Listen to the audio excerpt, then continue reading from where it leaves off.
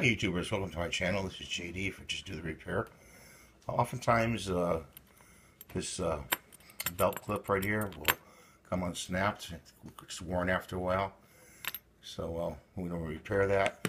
We want to snip off this piece right here and we can use this barge glue or this other kind of glue right here to repair it.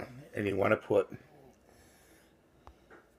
some glue in here on the belt loop in here and then close the belt and I'll show you what it looks like doing that. So we put glue here and here on these snaps and in the middle for the belt loop. Uh, consider this a permanent fix. You know, after a while the, the, the belt will wear out and tear and you'll have to make a new one. Yeah, just you can save the hardware um, to the belt to make a new one. So that's a tip for today. Thank you for watching. Please watch my other channels, um, which is the full channel I'm doing now. And uh, check out the playlist to the right.